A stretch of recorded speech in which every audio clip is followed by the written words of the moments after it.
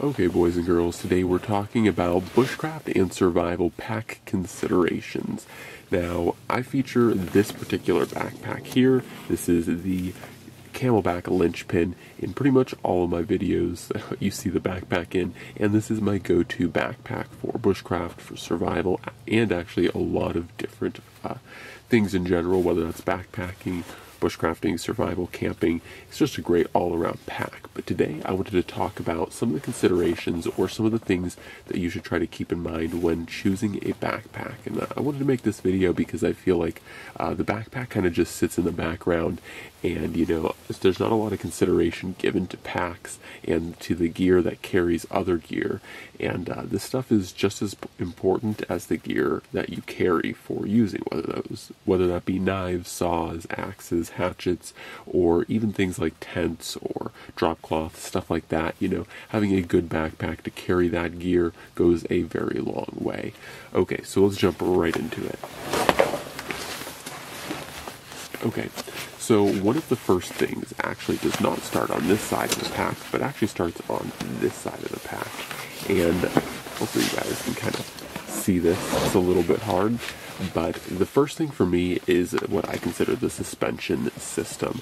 And trying to find a backpack that has a good suspension system and is comfortable to wear for long periods of time is the most important part of your backpack. You're not going to be able to, or really willing or wanting to carry anything for any distance if the backpack is not comfortable.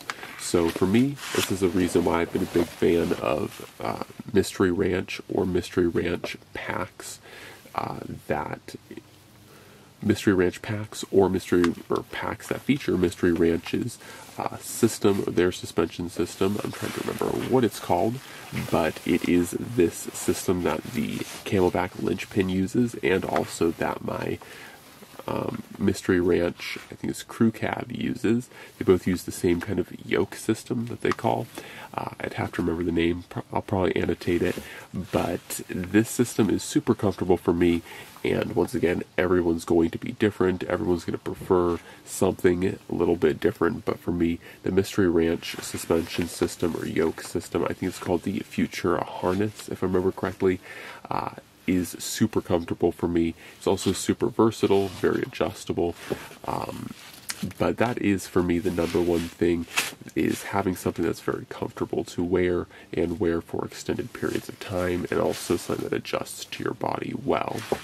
So the next point for me is something that I know a lot of backpackers usually discourage and usually try to say, you know, don't strap stuff to the outside of your backpack. And it's true, you want to be cautious and you want to be mindful of what you're strapping to the outside of your backpack. And yes, anything that's strapped to the outside is not as secure as the things that are inside, but the ability to strap things to the outside of your backpack is a really big deal. And in fact, it's kind of where the linchpin falls short in some ways. You can get creative, especially with these straps right here and right here.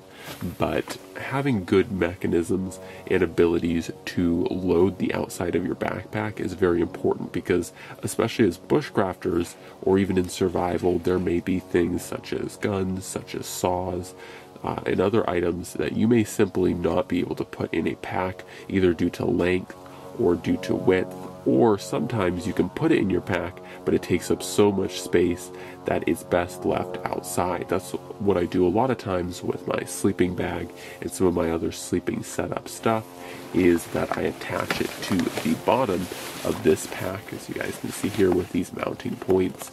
Um, I'll attach stuff to the bottom of the pack that way, um, I'm leaving space on the inside of the pack to pack some of the more smaller things that do genuinely need to be inside of the pack.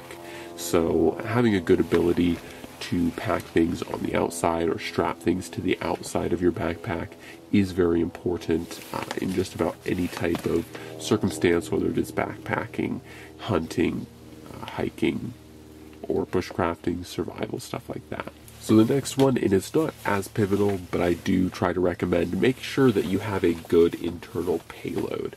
And, and while it may be hard sometimes to find a pack that has a good internal payload, you really do owe it to yourself to make sure that the pack that you do carry uh, can hold the stuff that you need. And the a good internal payload is kind of a hard um, point to exactly narrow down because you don't want to go excessive, but you also don't want too little. So this is something that you have to figure out, you know, what are you going to be generally carrying on any given day or, you know, in just about every circumstance. What is your general payload looking like? And what is a pack that will allow you to carry all of that and then a little bit more.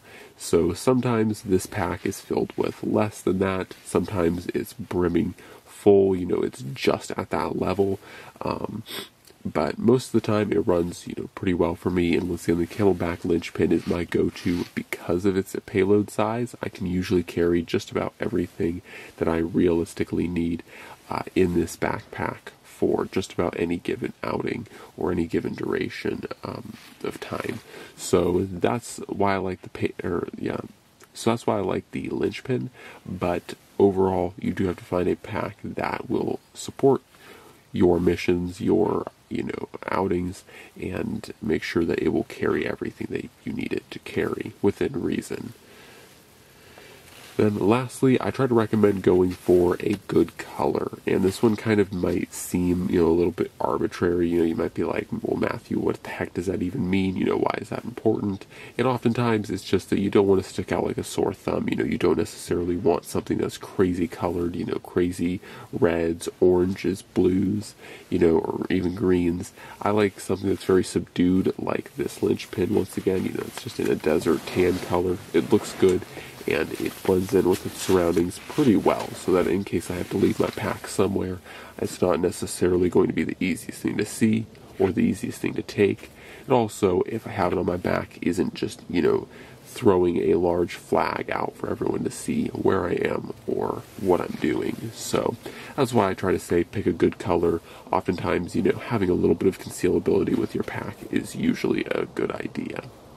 So those are the primary considerations for choosing a backpack, choosing something that you're going to carry your gear. There's not a whole lot of considerations that need to be made, but you do want to experiment around and see what type of packs uh, work well for you.